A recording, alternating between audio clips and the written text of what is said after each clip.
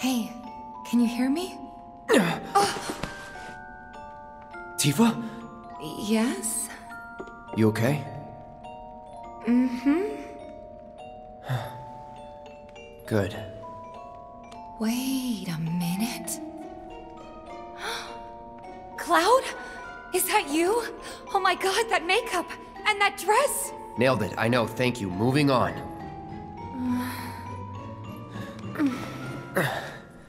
You good? Yeah, bit woozy, but I'll manage.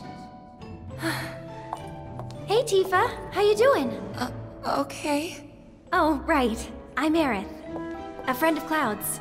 We were worried and thought we'd come help you out. Uh, thanks? Cut the chatter.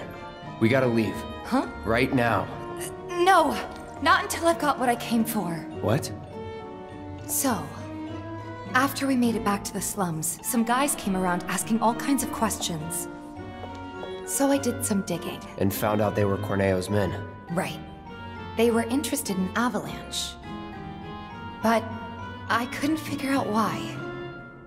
So I thought I'd come and ask the man himself. Seriously?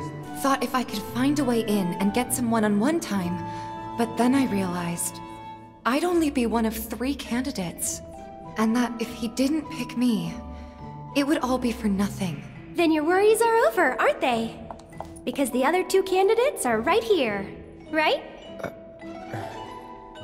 Right. So yeah, if we're all in on it, then nothing can go wrong. Uh, I guess not. You? Me? Cloud? Makes no difference who gets chosen, does it? I don't know, Aerith.